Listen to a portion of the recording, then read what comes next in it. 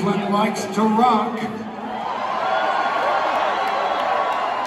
And we are especially appreciative tonight of Trent inviting us onto this show for you tonight.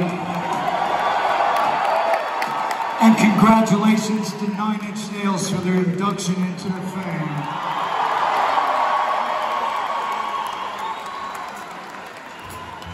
So the next song we're going to do is for Trent. It's a Black Sabbath cover called Supernaut.